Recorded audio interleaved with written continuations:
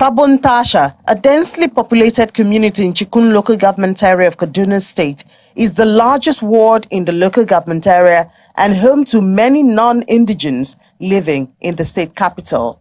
The community is challenged with severe infrastructural gaps, not limited to poor road networks, problems they've been grappling with for more than three decades.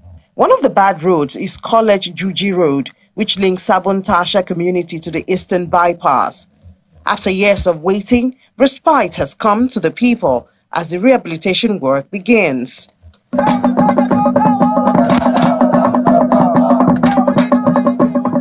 They roll out the drums to welcome Governor Uba Sani, accompanied by his deputy, Dr. Hadiza Balarabe, and other senior government officials.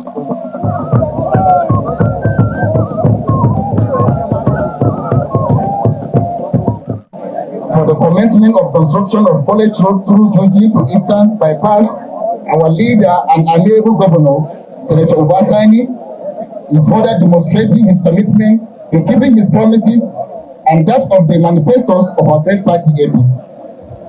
The governor performs the symbolic flag off of the six kilometer road, which is expected to be completed before the end of the year.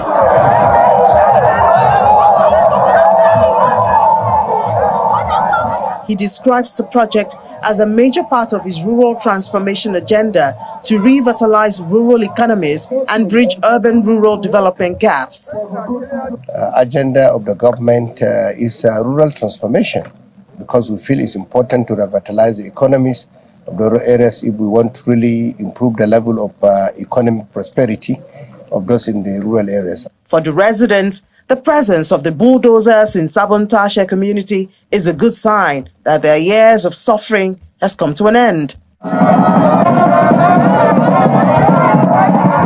From Sabon Tasha, Governor Sani moves to Gadangayan in Igabi local government area where he performs the groundbreaking of a 35-kilometer road that will link the community to Kujama Junction in Chikun local government area.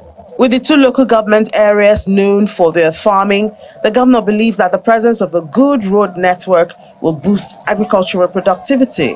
Happy today we have done the groundbreaking and uh, of course all these projects we uh, from the groundbreaking today we have uh, made it clear that the projects will be completed by the grace of God this year. Because it is one of the most agricultural local government in Kaduna State.